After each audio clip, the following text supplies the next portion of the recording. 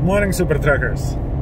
Why you should never go to TA for uh, for a repairs? Let me tell you a quick story. Uh, about about a year ago, we did send one of our uh, 2019 uh, utility trailers for uh, for an annual inspection, and the closest place was a TA. So we did send it to TA because we knew the trailer is in good shape and it's pretty much just a matter of paperwork. Uh, the results came out uh, amazing. Uh, we we actually got back to us and said that uh, this trailer won't pass the DOT inspection, the annual DOT inspection, uh, because uh, it's missing shocks.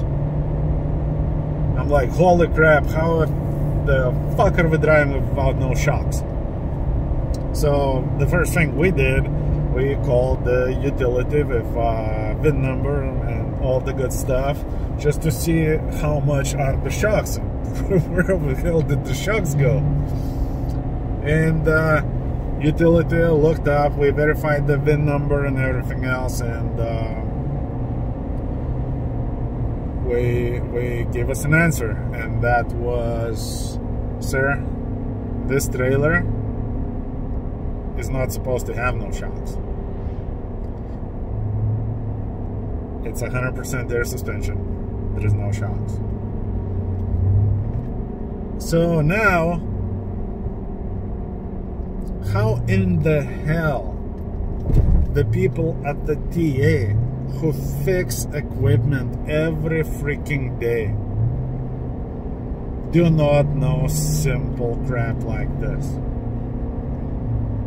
We failed an annual inspection on the trailer for having no shocks that shouldn't have a shock shocks in the first place. And this is just one story out of quite a few that I have under my belt. Uh, next story coming up about how I did the transmission overhaul in uh, I think uh, I think it was uh, Laramie, Wyoming TA or Rawlins, Wyoming TA, but I, I forgot by now. But I know it was in Wyoming. I know it was in TA, and I know that was uh, major transmission problems that ended in the in the overhaul. Stay tuned for the next video. Subscribe, and see you later, Super Truckers.